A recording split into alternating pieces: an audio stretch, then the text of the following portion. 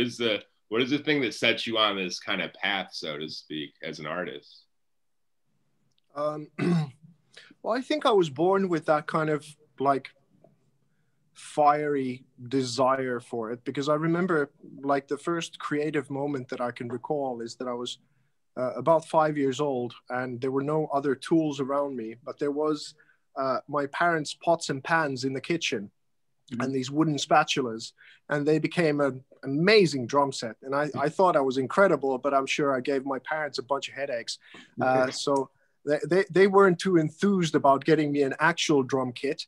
Uh, but I, I, remember that that I felt like that spirit was in me. That that's what I recognized it a little bit later. But that's what it is. Is that if you don't have the resources, if you don't have some things, some people tend to just see obstacles, and some people tend to see solutions.